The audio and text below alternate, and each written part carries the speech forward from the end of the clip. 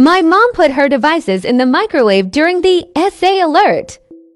I might be suspicious of some things, but I'm not a dumbass. What's the theory behind why wrapping your phones in tinfoil was going to protect you? it- it- there's radiation and vibration coming out of the phones, pinging all electronic devices. The Metal in the vaccines, and that the metal will spike our proteins and we will die.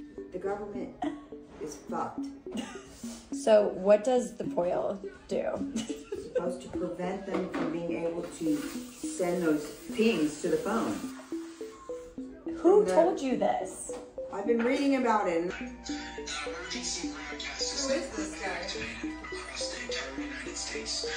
I'm gonna buy a satellite phone. Shut the fuck up and leave my mom alone. Every time you send me one of these sources, two days later they disappear because of misinformation And why is that? Why are they getting banned? because they're false. Okay. Don't fucking take me right now. I wanted to update you on what's been going on. Not be aware because you didn't have the right news source. Julie accidentally thought today was tomorrow, so she turned all of her devices off, wrapped them in tinfoil, and put them in the microwave. Yeah, even wrapped her up, turn the AirPods. Nanoparticles don't get activated via the proteins from the vaccine in her body through the cell phone server waves. Is she okay? No.